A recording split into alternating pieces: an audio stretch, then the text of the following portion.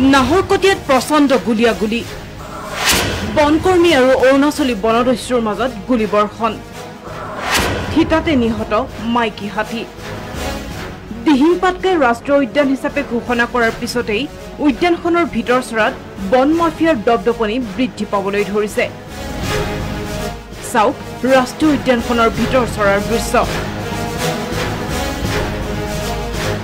কিদৰে অৰুণাচলী বনদস্যুৱে এফালৰ পৰা কাটি তহিলং কৰিছে কাঠৰ কুণ্ডা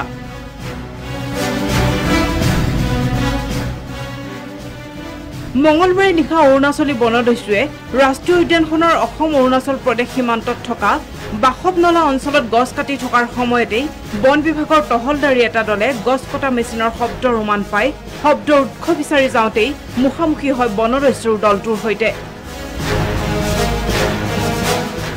অৰুণাচলী বন মাফিয়া আৰু বনকৰ্মীৰ মাজত সৃষ্টি হয় প্ৰচণ্ড গুলীয়াগুলীৰ।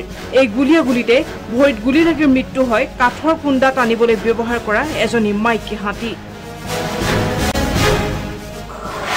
অভয়াৰণ্যখনত বনকৰ্মী অভাৱৰ অভিযোগ। আমাৰ বনকৰ্মীসকলে জয়পুৰ ৰেঞ্জ আণ্ডাৰত গোটেইকেইটা কেম্পৰে মানুহ মিলাই মেলি নিয়মীয়া এতিয়া টহলদাৰী কৰি থকা হয়। এইটো জেগাত যিহেতু নিয়মীয়া টহলদাৰীটো কৰি থকা অৱস্থাতে তেওঁলোকে আমাৰ পাৰ্টীয়ে গম পালে যে ইয়াত এটা মিচিং কৰ্ট চলি আছে। আমি অহা গম পাই পেলাই হেৰি পাৰ্টীটো যিটো স্মাগলিং পাৰ্টি তেওঁলোকে আমাৰ আমাৰ ফালে হেৰি কৰি পেলাই গুলী হেৰি কৰিলে বৰ্ষণ কৰিলে। কিন্তু গুলী বৰ্ষণ কৰাৰ পিছতে কি হ'ল গতিকে আমাৰ নিজৰ সুৰক্ষাৰ কাৰণে আমি এইফালৰ পৰা ৰিপ্লাই দিবলগীয়া হ'ল। বনকৰ্মী কম যিকেইজন মানুহ আছে এতিয়া তোমালোকে যিহেতু আহিলা ইমান দূৰ তিনিজন বা চাৰিজন মানুহে এটা আৰ্মছ লৈ পেলাই ইমান ভিতৰত ডিউটি কৰাটো সম্ভৱ নহয়।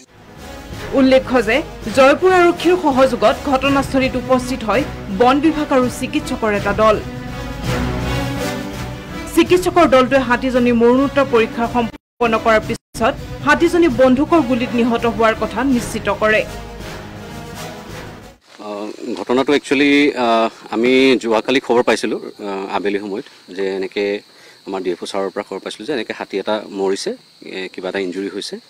আৰু সেইটো কাৰণে আমাক মাতিছিলে পষ্টমৰ্টেম কৰিবৰ কাৰণে। আৰু সেই সূত্ৰে আমি আজি ৰাতিপুৱাই আমি প্ৰায় দহটা বজাত আহি উপস্থিত হৈছিলোঁহি। আৰু আমি দেখিছোঁ যে হিষ্ট্ৰীটো লৈছোঁ কেনেকুৱা ঘটনা ঘটিছিলে। আৰু দুয়োফালৰ পৰা গুলীয়াগুলী হৈছিলে ৰাতি। আৰু আমি সেই সূত্ৰে আমি গোটেই এ, মাৰ্শতো আমি চাৰিওফালৰ পৰা পৰ্যবেক্ষণ কৰিলোঁ। তাৰ ভিতৰত এটা ছাইডে আপোনাৰ বাওঁ বাওঁ ভৰিৰ পিছৰ ফিমাৰ বনটো সম্পূৰ্ণ টুকুৰাকৈ ভাঙি গৈছে ফ্ৰেকচাৰ হৈছে। আৰু সেইটো আমি ভাবিছোঁ সন্দেহ কৰিছোঁ যে গুলীৰ কাৰণে হৈছে।